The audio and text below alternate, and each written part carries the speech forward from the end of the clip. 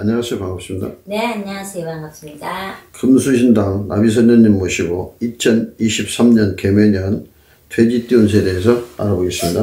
네, 돼지띠 분들, 어, 대체적으로 12띠 분들 중에 돼지띠 분들이 부유하신 분들이 많고, 사업을 하시는 분들이 많고, 정말 평범하게 안정적으로, 어, 걸림돌 없이, 예, 살아가시는 분들이, 어, 대체적으로 돼지띠 분들이라고 볼 수가 있는데, 하지만 돼지띠 분들도 약간의 손해를 봤다 소리가 나옵니다. 예를 들자면, 금전 손해, 어, 주변에 뭐 금전 거래를 했거나 보증을 잘못 썼다든지 이런 부분에서 금전의 손재가 따랐던 분들이 좀 돼지띠 분들이 있으실 거예요. 왜? 이분들이 조금 이렇게 돼지띠 분들 좀 부유하신 분들이 많기 때문에 주변 사람들이 손을 많이 내밀기 때문에 또 돼지띠 분들은 욕심이 많아도 내 사람이다 싶으면 베푸는 사람들이 있단 말이에요, 돼지띠 분들이. 그래서 뭐, 금전 거래를 했거나 보증을 쓰신 분들이 있었다라면 조금 손해를 봤지만,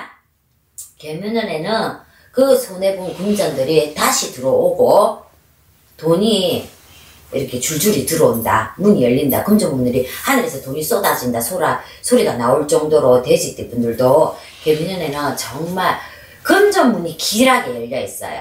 어, 금전문이 열려 있으면 오히려 사람들은 왜 이렇잖아요. 내 몸이 아프면 내가 몸이 건강해 금전이 들어온다 하잖아요. 그거 맞아요. 하지만 또 돼지띠 분들 금전문도 열리고 건강도 너무너무 좋아요. 크게 나쁘지 않아요. 건강 부분에서 약간의 잔잔한 사고수는 조금 있었어요. 있을 수가 있어요. 방심하다. 요 부분만 게 체크를 하신다면 괜찮을 것 같고 건강 부분이 안 좋았던 분들이 계셨다라면 건강도 호전이 되고 괜찮다. 어, 건강 그리고 금전 사업 장사 매매 부동산 모든 걸 한꺼번에 다 잡을 수 있는 기회가 정말 주어집니다. 개묘년에는 아주 길한 운이고 개묘년 해운에는 돼지띠 분들이 정말로 1순위로 달려갈 수 있는 분들이 돼지띠 분들이기 때문에 한번 기대해 보시는 거 좋을 것 같고요.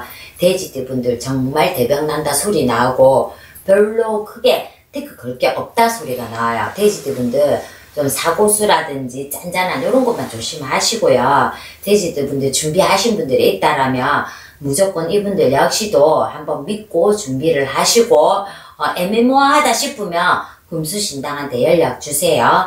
어, 그러면 제가 오목조목도 짚어 드릴 테니까 돼지띠 분들 한번 기대해 보시는 것도 좋을 것 같습니다. 힘내시고 화이팅 하세요. 감사합니다.